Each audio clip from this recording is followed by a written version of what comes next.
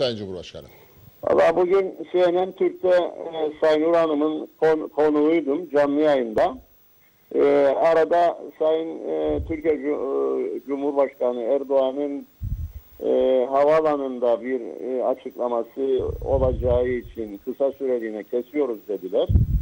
E, ve başka konular konuşulurken bu konu gündeme geldi.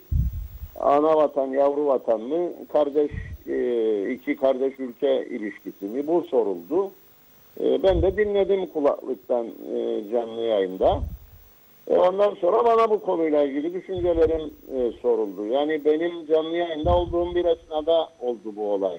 O nedenle sıcağı sıcağına ben düşüncelerimi e, tekrar etme fırsatı buldum.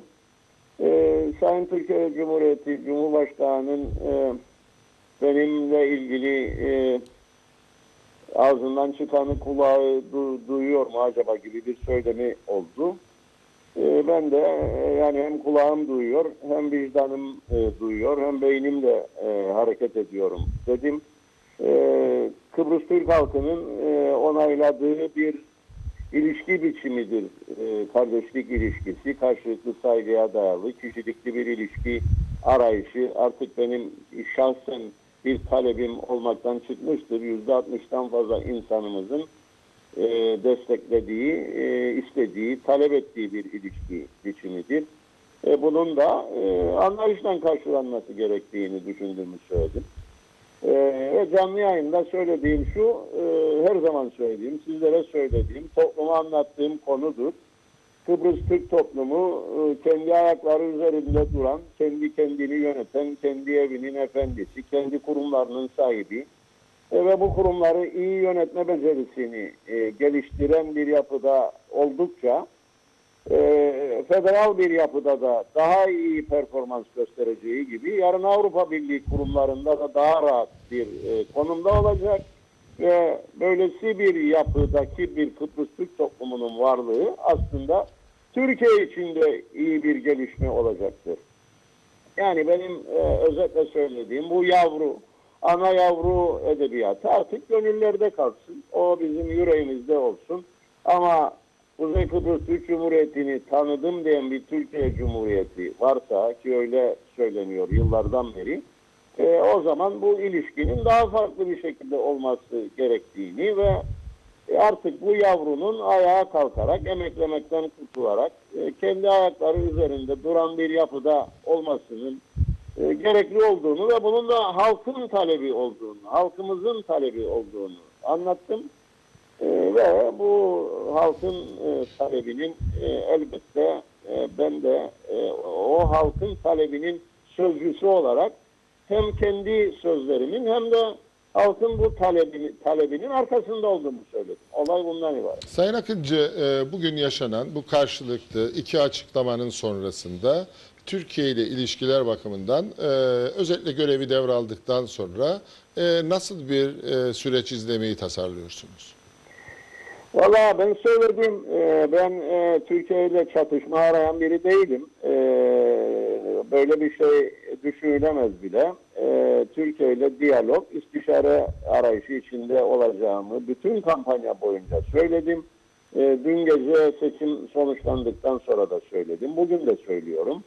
E, güneyde Anastasiadis'te çözüm arayacak olan e, e, uzlaşma arayacak olan e, ben e, toplumun içindeki sorunlarda iç barış için e, uzlaşmaya katkı koymaya çalışacak olan bir kişi olarak ben Türkiye ile niye çatışma arayayım böyle bir arayışım olamaz. E, ama e, burada da e, Kıbrıs Türk halkının talepleri var. Kıbrıs Türk halkının yansıttığı bir irade var. E, benim e, bakacağım kaynak e, her zaman Kıbrıs Türk halkı olacaktır. Elbette Türkiye ile iyi ilişki, Türkiye ile istişare içinde olacağım ama ben birinci derecede Kıbrıs Türk halkına karşı sorumlu olan bir e, insanım. E, dolayısıyla ilişkiler de bu çerçevede olacaktır elbette. Türkiye'nin özel konumunu, bizim için anlamını, hatta bölge için önemini kavrayamayacak bir e, insan değilim ben. E, bir politikacı değilim. E, ama Kıbrıs Türk tale, to- toplumunun haklı taleplerine de daha çok kulak verilmesi e, gerektiği de aşikardır. Özellikle bu e, son seçimden sonra. Şöyle bir gelişme daha oldu. Onu da size söyleyeyim. E, Sayın Erdoğan e, ben canlı yayında e, bitirmek üzereyken e, bana bir not uzattı arkadaşlar. E, telefonda zaten o da söylemişti. E, mesaj yolladım yazılı olarak. E, şöyle oldu onu da söyleyeyim. Dün gece yarısından e, sonra e, yazılı olarak gerek Sayın Tayyip Erdoğan, Sayın Davutoğlu ve Sayın Mevlütoğlu e, Dışişleri Bakanı. Üçünden de yazılı tebrik e, mektupları ulaştırıldı bana elçilik tarafından. Bu arada Sayın Kılıçdaroğlu e, CHP Genel Başkanı aradı. Telefoniyen tebrik etti. E, dün akşam gene Anastasiadis e, ve Ayde e, onlar da aramıştı. E, bugün e, DİSİ Başkanı olsun e, Türkiye'nin 11. Cumhurbaşkanı Abdullah Gül, eski e, meclis başkanlarından Hikmet Çetin, e, bunlar hep e, aradılar. Hepsine teşekkür ediyorum. Sayın Davutoğlu bugün telefoniyen de aradı. Dün geceki yazılı mesajdan sonra. Ve dediğim gibi e, canlı yayının sonlarına doğru ben bitirmek üzereyken zaten not geldi. Canlı yayına da bu yansımıştı. Sayın Erdoğan e, telefoniyen görüşmek istedi. Onunla da görüştüm. E, yani iyi bir sohbet oldu aramızda. E, kendisi e, herhalde Türkiye'yi e, ziyaret edeceksin dedi. E, ben de e, davet alırsak memnuniyetle dedim. E, kendisi biz e, davet beklemeden geliyoruz dedi. Çünkü bizim böyle bir ilişkimiz var. Türkiye Cumhurbaşkanı, e, Başbakanı, Dışişleri Bakanı her göreve geldiğinde e, öncelikle e, Kuzey Kıbrıs Türk Cumhuriyeti Azerbaycan'a gider dedi. Öyle bir gelenek var dedi. E, senden de bu geleneğin de devamını bekliyoruz dedi. Ben de mazbatayı alayım, e, devir teslim işlemleri olsun. E, bu konudaki e, gelenekleri bir e, görelim. E, o şekilde e, memnuniyet duyarız elbette Türkiye'yi ziyaret etmekten dedim. E, yani bu konuda e, taraflar e, karşılıklı olarak birbirini anlayabilmeli. E, burada e, herhangi bir şekilde e, kriz üretmeye e, çalışanlar çıkabilir. E, bu, bunları bu şekilde değerlendirmek isteyenler olabilir. E, ben kendi payıma kriz peşinde değilim. E, Kıbrıs Türk toplumunu çok daha mutlu, esenli bir geleceğe taşımanın arayışı içindeyim.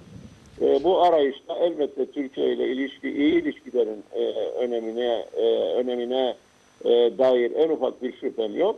Ama bir konuda daha şüphem yok. O da şudur. Kıbrıs Türk halkı, Kıbrıs Türk toplumu artık yavruluktan çıkıp ayakları üstünde durmak istiyor.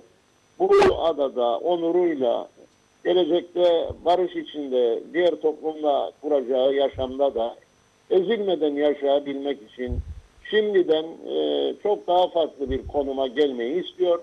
Kendi kurumlarına söz sahipliği istiyor. Kendi kurumlarında iyi yönet, e, yönetmek, bu kurumları iyi yönetmek ve geleceğe hep birlikte çok daha sağlıklı bir top diyor. Bu bağlamda Türkiye ile olan ilişkilerinin de e, farklı bir noktaya taşınmasını arzu ediyor. Benim seslendirdiğim aslında halkın talepleridir Hasan Bey. Başka bir şey değil. Gayet net Sayın Başkan. Sayın Başkanım e, sizlere e, başarılar diliyoruz ve e, sıcağı sıcağına yaşanan bu süreçte saygıda kusur etmeden ama Evet. saygısızlığı da sineye çekmeden yansıttığınız duruş nedeniyle sizi kutlarım diye bir ifade kullanmam. Çünkü aslında ben sizi biliyorum ki siz gerek Güney ile gerek Türkiye ile konuları tartışarak değil, görüşerek ve barışçıl yöntemlerle aşmak istiyorsunuz. Başarılar diliyoruz sizlere. Teşekkür ediyorum. İyi yayınlar dilerim. Sağ olun. Başarı- Başarılar Mustafa Bey. Evet, dinledik. Yani tabii ki e, Sayın Akıncı